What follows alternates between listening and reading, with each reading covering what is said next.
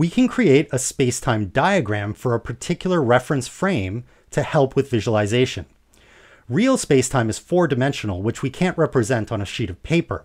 However, we can simplify the diagram to capture the essence of spacetime locations if we assume a single dimension of space. That way, we can draw space horizontally on one axis and time vertically on another. We can also arbitrarily pick a point as our origin, which will be our chosen reference point to compare against all other events in spacetime.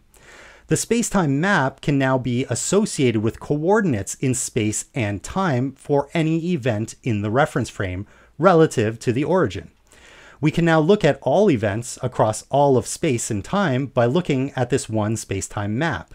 We can also travel through a series of events, one after the other, in a chain such that it creates a path through spacetime. We call this the world line. For example, Let's launch a model rocket from our location and watch the events unfold from our position where we are standing still or at rest. We can call this event O, and we can pick that to be the origin for our space-time map.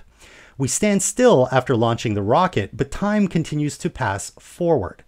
We map our path through space-time as moving straight up through the diagram along time. At the same time, our launched rocket is moving away from us, but time is also moving forward.